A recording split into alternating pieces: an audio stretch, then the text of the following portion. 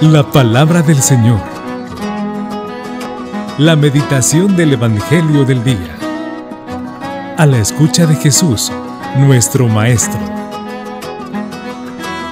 Señor, tú tienes palabras de vida eterna. Un saludo, queridos hermanos, para cada uno de ustedes que están en esta sintonía de TVK.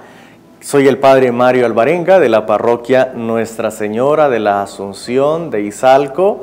Al inicio de esta transmisión quiero enviar un saludo a mi hermano, el Padre Jorge Alvarenga, que ustedes conocen, porque este día eh, es su viaje hacia la nueva misión que se le ha encomendado.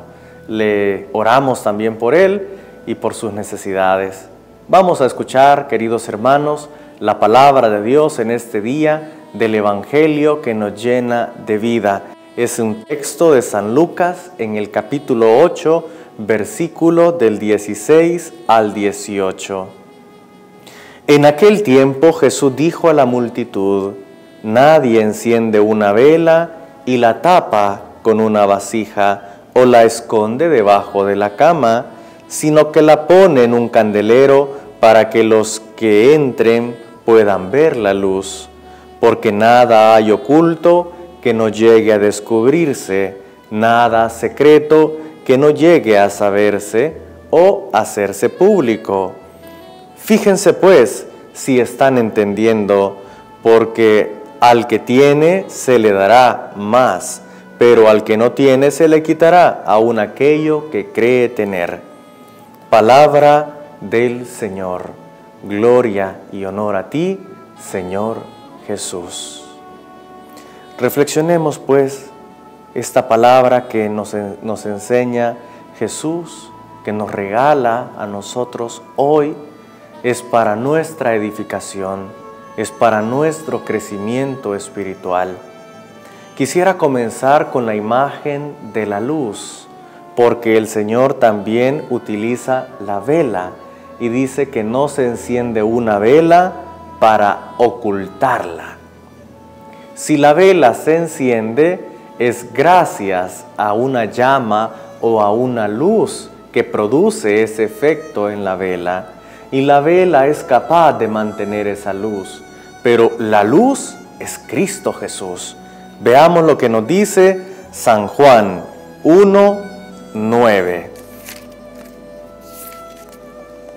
La verdadera luz que ilumina a todo hombre estaba viniendo al mundo.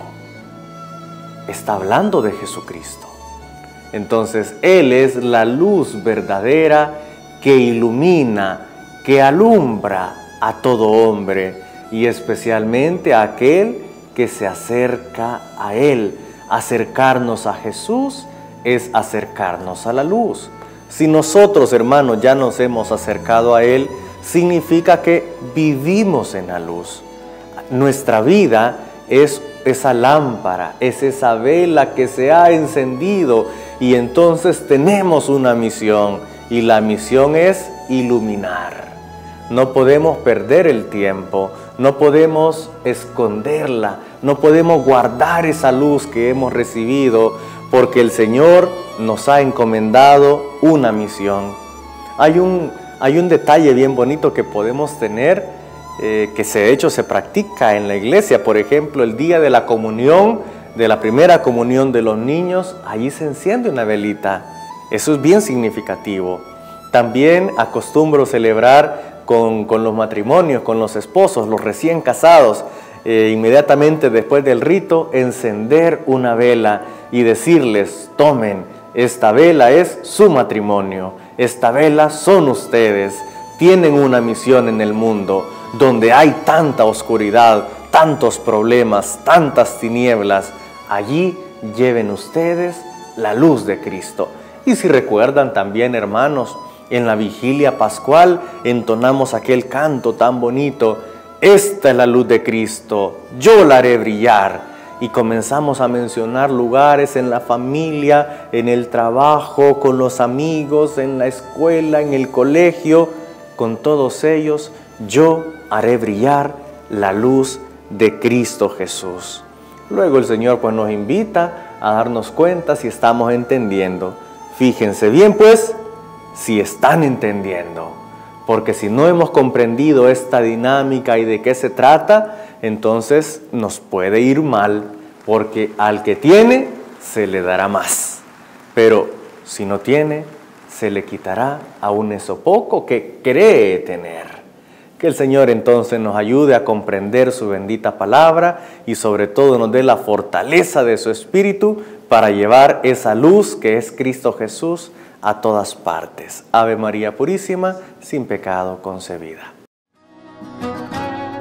La palabra del Señor. La meditación del Evangelio del Día. A la escucha de Jesús, nuestro Maestro. Señor, tú tienes palabras de vida eterna